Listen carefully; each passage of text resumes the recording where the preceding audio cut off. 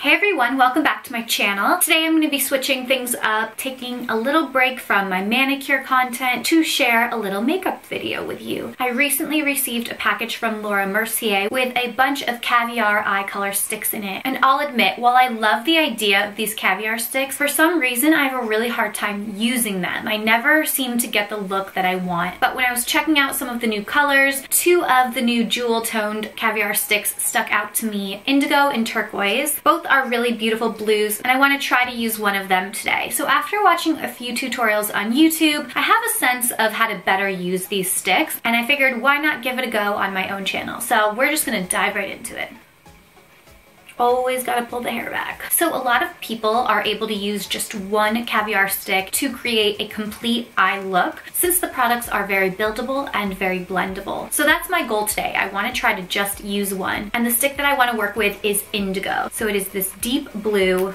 it is like a true royal blue and if done correctly I think will be absolutely beautiful on the eyes. I love bright and bold eye colors especially in jewel tones. I don't think I've ever done a blue eye look on my channel but there is a first for everything and, we're gonna see how it goes. Alright so I'm going to apply this to the outer corner of my lash line almost as if it were an eyeliner. I'm gonna apply a good amount right there and then use a brush to blend it out.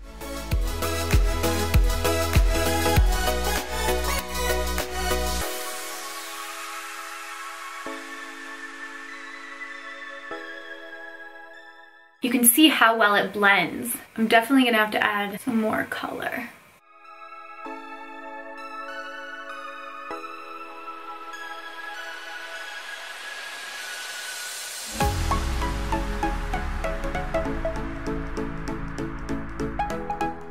All right, so just a lot of blending. I'm gonna apply a little bit beneath my eye and smoke it out there as well.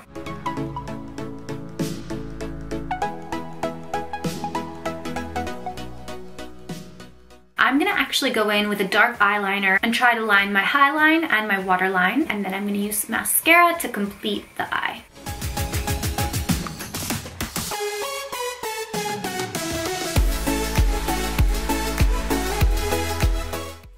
Right, the first eye is done. I love this bold look. Oh my gosh, it is so fun. Very few times do I play with such bold colors, but... We're quarantined, so what else are we gonna do? I love that I was able to create this eye with just one shade of blue. I'm gonna go do the other eye off camera, and then I'll be right back to wrap up this video.